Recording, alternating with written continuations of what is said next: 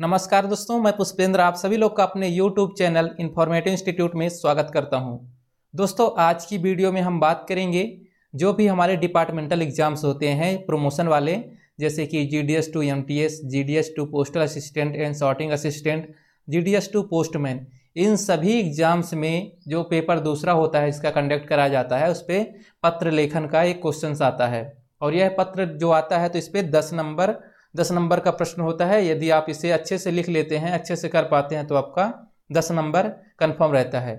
और यह बहुत ही सरल एवं सिंपल होता है, और यह लगभग सभी को पता भी होगा, लेकिन दो चार साथी हमारे पर्सनली मुझे मैसेज करके बोले कि हमें पत्र लेखन का एक फॉर्मेट बना दीजिए कि हमें किस प्रकार से लिखना होता है। तो यह वीडियो खास तौर से उन्हीं के लिए है, जिनको थोड़ा बहुत डाउट लगता है इसको पढ़ाई करने में, पत्र लेखन हमें किस प्रकार से करना है? इस वीडियो में हम आज दिखाएँगे इसका फॉर्मेट कैसे होता है, किस प्रकार से होते हैं और पत्र जो आपके लिखने को आते हैं तो पत्र दो प्रकार के आते हैं। पहला होता है औपचारिक और फिर अनौपचारिक। तो हम इन दोनों पत्रों को देखेंगे और उस दोनों का फॉर्मेट भी देखेंगे। चलिए वीडियो में आगे बढ़ते हैं। पत्र लिखते समय हमें किन किन बातों का ध्यान रखना चाहिए? तो यहाँ पास हमें ध्यान देना है वार्तालाप सरलता, संक्षिप्तता एवं व्याकरण। वार्तालाप का मतलब इस प्रकार से होता है कि आप जो लेटर में सेंटेंस लिख रहे हैं, जो भी वाक्य लिख रहे हैं तो इस प्रकार से लिखें, जो भी लेटर पढ़ता है, जो भी आपका पत्र पढ़ता है तो उसे ऐसा अनुभव होना चाहिए कि आप उसके पास में स्थित हैं, उसे ऐसा अनुभव होना चाहिए। सरलता में जो भी वाक्य हम लिखते हैं लेटर में, जो भी पत्र में लिखते हैं, वो एक सरल भाषा में होना चाहिए। यदि हम कठिन भाषा का उपयोग करते हैं तो लेटर पढ़ने वाले को, पत्र पढ़ने वाले को थोड़ी सी कठिनाइयाँ आ सकती हैं और उसे अच्छा नहीं लगेगा। संक्षिप्तता का मतलब होता है कि अपनी बहुत बड़ी बातों को छोटे से सेंटेंस में लिख देना। तो यदि किसी भी पैराग्राफ को, किसी भी बात को, जो बहुत बड़ी चलने वाली है, उसे हम एक छोटे से वाक्य में समझा देते हैं, वही कहलाता है संक्षिप्तता। तो आपको इसी प्रकार से लिखना है, कोई भी आपका अगर पैराग्राफ है तो उसे कम से कम शब्दों में और संक्षिप्त करके लिखें, ताकि सामने वाले को पढ़ने में बहुत ज़्यादा ना लगे। फिर अगला है व्याकरण। व्याकरण में क्या होता है, हम जो भी लेटर लिखते हैं, उसमें व्याकरण का बहुत ही ज़्यादा महत्वपूर्ण योगदान होता है। कहीं भी गलती हो गई या फिर कहीं भी अशुद्धि हो गई तो हमारा लेटर का रूप वहाँ से बदल जाता है।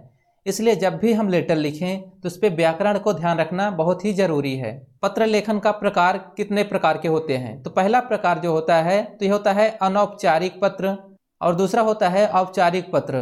तो सबसे पहले हम देखेंगे, अनौपचारिक पत्र किसे कहते हैं, उसके बाद औपचारिक पत्र किसे कहते हैं, फिर इसके बाद हम देखेंगे कि हमारा जो फॉर्मेट होता है इन दोनों लेटर्स का अलग अलग ढंग से किस प्रकार से लिखा जाएगा, उसको हम दिखाते हैं। हमारे सामने स्क्रीन पे आ चुका है अनौपचारिक पत्र। इस पे आप देख सकते हैं अनौपचारिक पत्र पे क्या है। इस प्रकार के पत्र में ध्यान यह देना है कि हम जिसे पत्र लिख रहे हैं, उससे हमारा निजी संबंध है एवं व्यक्तिगत संबंध भी है और हम अपने सुख दुख के बारे में ब्यौरा लिखते हैं। अपने परिवार के लोगों और पास की मित्रों, सगे संबंधियों को पत्र लिखे जाते हैं। तो सिंपल सी बात यहाँ पे इस प्रकार से है कि हमारा जो अनौपचारिक पत्र होता है, इस पर हम अपने रिलेटिव, दोस्त, मित्र, जिससे कि हमारा संबंध होता है, व्यक्तिगत संबंध होता है, उन्हें हम अनौपचारिक पत्र लिखते हैं डायरेक्टली और अब आगे बढ़ते हैं, औपचारिक पत्र में। औपचारिक पत्र, इस प्रकार के पत्र को लिखते समय हमें यह ध्यान देना है कि जिसे हम पत्र लिख रहे हैं, उससे हमारा निजी संबंध नहीं है।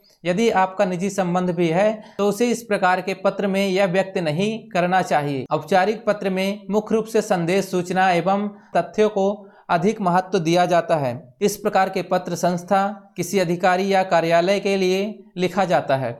औपचारिक पत्र जो भी होते हैं, यह अधिकतम अधिकारियों, संस्था या किसी कार्यालय के लिए ही लिखे जाते हैं। अब यहाँ पास आप देख सकते हैं, अनौपचारिक पत्र का जो भी आपका परफॉर्मा होता है, इसी प्रकार से होता है। आपको ऊपर में नेम लिखना होता है, दिनांक लिखना होता है, और आप यहाँ पास पता भी लिख सकते हैं इनका। जो भी आपको फॉर्मेट लिखनी है तो यहाँ बीच की लाइनों में लिखना होता है, और इसके बाद आपका नीचे में फिर से पता होता है। तो दोस्तों, इसी प्रकार से फॉर्मेट होता है अनौपचारिक पत्र का। जैसे कि यहाँ पास देख सकते हैं, एक दोस्त के लिए पत्र लिखा गया है। इस पर है, दो दिन पहले आपका पत्र मिला। आप सभी का समाचार सुनकर हमें बहुत प्रसन्नता हुई, और यहाँ पर भी सब कुशल मंगल है। हमारे बड़े भाई की 20 मार्च 2020 को शादी है, इसलिए हम चाहते हैं कि आप अपने माता पिता एवं भाई बहन के साथ ज़रूर आएँ।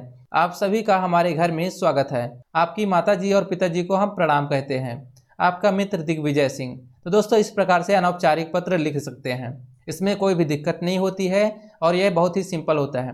ध्यान यही देना है कि हम जो यहाँ पे सेंटेंस लिखते हैं उस पर कितना महत्व है।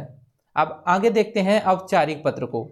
औपचारिक पत्र यहाँ पर देख सकते हैं, जैसे कि हमने यहाँ पास लिखा है कि एक रजिस्ट्री पत्र जो है तो हमें प्राप्त नहीं हो रहा है।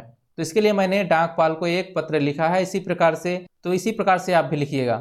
जैसे कि यहाँ पास है, डाक भवन नई दिल्ली, यहाँ पास आपको एड्रेस लिखना है, जहाँ जहाँ का भी है यहाँ पास विषय वस्तु आपको लिख देनी है, जो भी इसका विषय होगा। मेन हेडिंग सेक्शन आपका बीच में होता है, कोई भी लेटर होगा, बीच में रहेगा, और लास्ट में यहाँ पास आपका पता और नाम होता है। जैसे यहाँ पास हमने नाम दे दिया है तो नाम के साथ में आपका यहाँ पे पता भी डाल देंगे तो ज़्यादा बेटर होगा।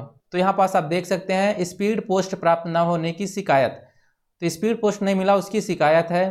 प्रिय महोदय, यहाँ पास महोदय भी डाल सकते हैं। प्रिय महोदय, निवेदन के साथ आपका ध्यान अपनी ओर आकर्षित करना चाहता हूँ। मैंने 25 जनवरी 2020 को अपने मित्र के लिए एक स्पीड पोस्ट भेजा था, किंतु दो महीना बीत चुके हैं और उन्हें अभी तक प्राप्त नहीं हुआ है। हमारे मित्र ने अपने गाँव के पोस्ट ऑफ़िस पर जाकर पता किया, लेकिन वहाँ के अधिकारी कहते हैं कि यहाँ ऐसा कोई भी पत्र नहीं आया है। स्पीड पोस्ट का आप नंबर भी दर्शा सकते हैं। यह एक फॉर्मेट है दोस्तों, इसी प्रकार से आपको लेटर लिखना है। इसका जो विषय है, विषय कुछ भी हो सकता है। जैसे कि आपको औपचारिक लेटर में आ सकता है कि आगे की पढ़ाई करने के लिए कोई भी पत्र लिख लिए। ये एक फॉर्मेट के साथ में दिखाया गया है। यहाँ पास जो विषय वस्तु है, विषय वस्तु आपकी कुछ भी हो सकती है। तो आपको इस विषय के अनुसार यहाँ पास जो मैटर बेस का कंप्लीट करना है तो आपको ही बनाना पड़ेगा। दोस्तों, आज के लिए इतना ही। यदि यह वीडियो पसंद आई हो तो इसे लाइक ज़रूर करें। और यदि आपने अभी तक हमारे चैनल को सब्सक्राइब नहीं किया है तो आप हमारे चैनल को सब्सक्राइब ज़रूर करें एवं बगल में दिख रहे बेल आइकन को भी ज़रूर दबाएँ। हम मिलते हैं दोस्तों आपसे अगले वीडियो में। अभी के लिए good bye thanks for watching